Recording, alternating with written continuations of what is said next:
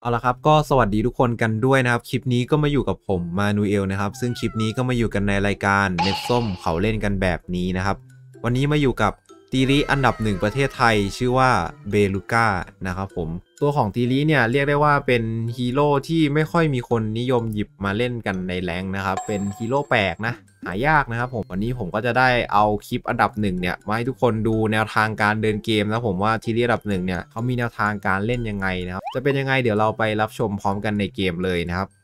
มาดู rune ไอเทมพลังแฝงของตีรี top 1กันนะครับ เริ่มที่ rune ก่อนเลยนะ สีแดงเป็น Rampage 10 เม็ดนะครับ สีม่วงสปิริต10 เม็ดส่วนสีเขียวเป็น Dragon's Claw 10 เม็ดนะครับ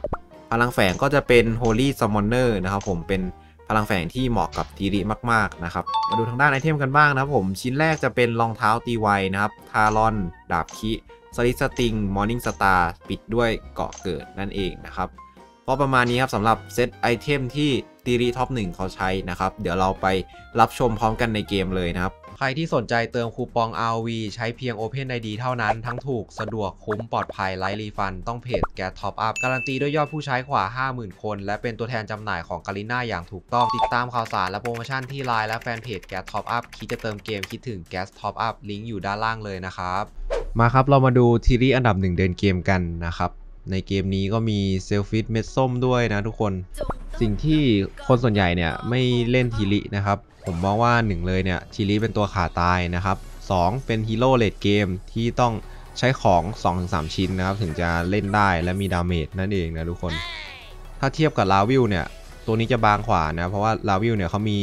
skill 2กัน damage ใช่ไหมแต่ว่าฮีโร่ตัวนี้มันไม่มีนะครับผมถ้าหมดฟิกแล้วก็คือเล่นยากนะครับผมเจอพวกตัวลวงนะ ข้อดีก็คือน้องเนี่ยจะตีคล้ายๆบูมแมลงนะครับ ตีตัวหน้าโดนตัวหลังนะทุกคนแล้วก็ตีไกลด้วยนะครับ เนี่ยแบบนี้เลยนะ ตีคลิปตัวที่ 1 ไปโดนคลิปตัวที่ 2 นะครับเลดเกมถ้ามีของก็คือก็โหดนะทุกคนตีค่อนข้างไวนะครับ อันตีเนี่ยจะคล้ายๆ อันตีของลาวิวนะครับผมใช้ได้ทั่วแมปเลยนะ แต่ดีตรงที่ว่ามันปาไปแล้วเนี่ย อันตีมันเด้งกลับมาหาตัวด้วยนะครับ ไม่ได้แบบ ปาไปแล้วปาไปเลยนะผมถ้าโดนฮีโร่มันก็จะเปิดแมปด้วยนะครับผมแล้วมันก็จะเด้งกลับมานะครับ ประมาณนี้ครับสำหรับตัวของทีรีนะอ่าเนี่ยถ้าเทรดสู้กับพวกคาเฟนี่อย่างเงี้ยสู้ยากนะครับผมก็ต้องรอของเนาะต้นเกมโดนกดไม่ใช่เรื่องแปลกครับ ชิ้นแรกก็เป็นรองเท้าตีไวนะทุกคน ทีนี้เนี่ยเขาจะเน้นอัพไปที่ skill 2นะครับ skill นี้ก็มัน buff การโจมตีด้วยเนาะ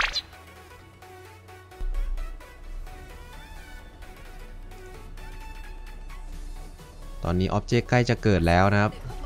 skill หนึ่งของทีรีเนี่ยอาจจะดูไม่ค่อยแรงนะครับ แต่ว่ามันทำซีซีให้กับอีกฝั่งได้ก็คือการ slow นั่นเองนะครับ ถ้าปาไปโดนพวกฮีโร่แล้วมาติดสัญลักษณ์เนี่ยอไอตัวนั้นเนี่ยมันก็จะเดินช้านะครับ หลักๆ ก็ประมาณนี้ครับสำหรับตัวของทีรีนะฮีโร่มันค่อนข้างเข้าใจง่ายนะครับผมไม่ได้ซับซ้อนอะไรเลยนะครับ แต่ถ้าเล่นในเกมเนี่ยต้นเกมจะเล่นยากหน่อยตรงที่ว่ามันต้องใช้ของนะครับผมก็เหมือนฮีโร่ late game ทั่วไปนะช็อตนี้กด skill 2ไล่ตีครับเก็บคาเฟนี่มาได้ flick ตาม แล้วก็ได้ด้วงอีกตัวหนึ่งนะครับคุมแล้วผมไฟนี้เวทบัฟฟ้าต่อด้วยนะครับแครี่ถ้าเล่นได้ในช่วงต้นเกมเนี่ยมันก็จะเล่นง่ายนะครับ เงินมันก็จะนำเขาไปเนาะค่อยๆฟาร์มค่อยๆเล่นครับผม ไม่ต้องรีบร้อนอะไรนะครับรวมเขาก็เล่นดีนะ ฟาร์มเรื่อยๆนะครับ แค่ 2 นาทีเอง คลิปนี้ก็ยังอยู่ในซีซั่นที่ 26 อยู่นะครับ ถ้าเป็นซีซั่น27 เนี่ย มันจะมีไอเทมใหม่มา 2 ชิ้นนะครับ ซึ่ง 2 ไอเทมนี้เนี่ย ค่อนข้างน่าสนใจนะครับ อ่าแล้วยังไงครับกบหายตัวมารวบ2ครับรวบสวยจัดฮิกซี่ยกต่อครับเราได้คาเฟนี่มานะ เนี่ย roam เขาเล่นดีนะทำจังหวะให้เล่นง่ายนะครับโอ้แล้วข้างบน 2 ต่อ 3 แล้วหยานเก็บด้วงมาได้นะครับโอ้แต่ว่าเฟรนเขาได้ dark นะ carry ปัจจัยหลักก็คือเน้นรวยเท่านั้นนะครับ รวยมีของแบกได้นะครับ มีแค่นี้เลยนะ แล้วก็ตำแหน่งจุดยืนนะครับผม ไปเติมที่ข้างบนไม่ทันก็มาแท็ก wave กลางแล้วก็กลับเลนเนาะทุกคน carry ก็จะเดินประมาณนี้นะครับถ้าหลัง 4 นาทีนะดู ulti ทีริใน map นะครับผมปาขึ้นไปด้านบนนะอ่าโดนเฟอร์เรนนะครับผมแล้วก็เด้งกลับมานะครับเด้งกลับมาหาตัวเรานั่นเองเนาะแต่ถ้าไม่โดนฮีโร่เนี่ย ulti มันก็จะวิ่งไปสุด map เลยนะครับผมแล้วก็ค่อยเด้งกลับมานะประมาณนี้ผมสำหรับ ulti ของทีรินะถ้า GM ปรับให้ stun ได้ 2 ทีเนี่ยโห เป็นฮีโร่ที่น่าสนใจเลยนะครับ stun ได้2ทีคือโกงมากนะ ชิ้นแรกนะครับผมก็จะขึ้นเป็นทารอนนะ ในทางด้านของไอเทม damage นะครับ ตรงนี้คริเข้านะครับ เคลียร์แค่แวนการ์ดพอนะทุกคน อ่าความไม่แตกก็ถือว่าโอเคนะครับ ยืนคนเดียวได้ 2-1 และด้านล่างครับผมที่บัฟฟ้าศัตรูเพื่อนดีนะ ช่วยกันทำเกมนะครับ แครี่แทบไม่ต้องทำอะไรเยอะนะครับผม มารับทุกเวฟก็พอนะ มีตังก็ไปช่วยไฟกับเพื่อนนะครับ 92 แล้วอะต้นเกม มาแล้วครับผม กบมาแล้วนะ น่าจะเลงคาเฟนี่นะครับ อ่าแล้วทางด้านด้วงบินมาอย่างนี้ คิกซี่ยกไปกบรวบต่อ โอ้โหไม่ได้ขยับนะครับ แล้วทีนี้ได้คิวด้วยไง เอาแล้วไง เอาแล้วไง อ่าลิเลียอีกแล้วนะผมถ้าอย่างนี้เรียบร้อยครับกบออสลอตอุ้ย combo นี้โกงนะฮิกซี่กับกบเนี่ยฮิกซี่ยกให้กบรวบต่อนะครับ flick ใส่คาเฟนี่ครับเก็บคาเฟนี่มาได้ แล้วตีอลิต่อยังไงครับ โดนนกกระจิบจิกตายนะครับ เกมไหลมากนะครับตอนนี้5-0แล้ว ข้างบนก็ไม่แพ้เลนนะครับ ชนะทุกเลนเลยเนี่ยเกมนี้ การ combo ส่วนใหญ่นะครับผมก็จะกด skill 2ก่อนเข้า fight นะครับผมพอเข้า fight ปุ๊บเนี่ยตามด้วย skill 1นะครับที่ผมสังเกตเขาเล่นนะ แค่นี้นะผม combo ทีรี มันก็ไม่ได้ซับซ้อนอะไรอะเนาะนี่ครับตีมังกรคนเดียวชิวๆฝั่งเราตายแค่ 2 ตัวเองนะครับ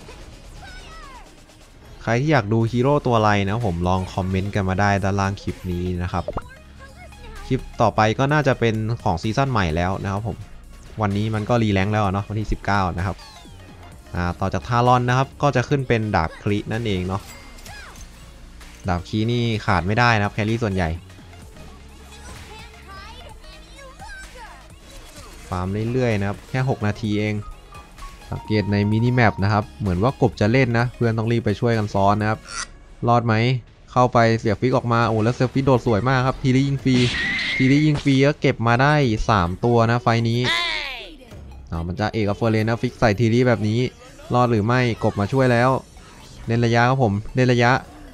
ยังไงครับกบรวบทัน โอ้โห แล้วกบได้ kill อีกแล้วนะครับ กบ assassin หรือเปล่าเนี่ย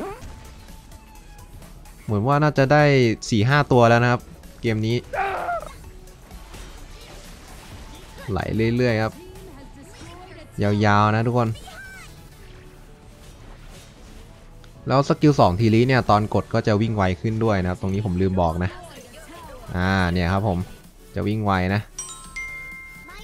ตีเร็วด้วยนะครับ late game มันก็จะมันมันมือนะ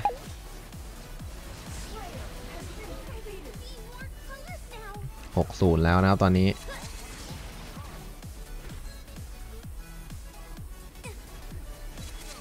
ฟาร์มเรื่อยๆครับ มีไฟค่อยไปไฟนะ ตอนนี้แบบยังไม่มี fight ก็มาช่วยกันฟาร์มนะ หาเงินนะผม ดีกว่าไปดักเราไม่ได้ทำอะไรนะโอ้โหพี่กบเราเอาอีกแล้วนะ ใน minimap ต้องทำ wave ล่างขึ้นไปนะครับ ชิ้นต่อไปนะครับ เป็น Slikk's Sting นะครับผม ได้กันซีซีด้วยเนาะมาเก็บ buff แดงก่อนไป fight นะครับ ทีนี้แหละ หนืดรัวๆ มี skill หนึ่งอีกนะครับ แล้วตรงกลางหยาน3-1 นะ ออกมาได้นะครับ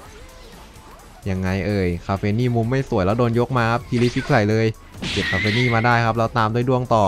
ยิงไปครับ เรียบร้อยครับผม โดนพลังแฝงจิกตายนะ โอ้โห มาแล้วครับ wave กลางด้วย 3 ต่อ 5 นะครับ ยังไงครับช็อตนี้อ้าวแล้วโดน ulti ทีรีนะครับผมทางด้านของอลิส triple kill มาครับ และตามไปเก็บที่ป้อมต่อแต่ว่าขอตีฟอร์เรนก่อน ขอตีฟอร์เรนก่อนคอสคิวไม่ได้เมกานะครับ เกมนี้นี่ประมาณ 8 นาทีเองนะ ไวมากครับผม เจอทีมเล่นดีนะทุกคน ชนะทุกเลนเลยอะแบบ perfect มากนะครับาดาวนี้ก็เป็นดาวที่ 50 นะครับ supreme พอดี พร้อม re-rank นะครับ คะแนนอันดับหนึ่งนั่นเองเนาะ ก็ประมาณนี้ครับกับแนวทางการเล่นของทีรีอันดับหนึ่งนะครับใครที่สนใจฮีโร่ตัวนี้เนี่ยก็ลองไปหัดเล่นกันได้นะครับตัวมันไม่ได้เล่นยากเลยนะอารมณ์คล้ายๆลาวิวนะครับผม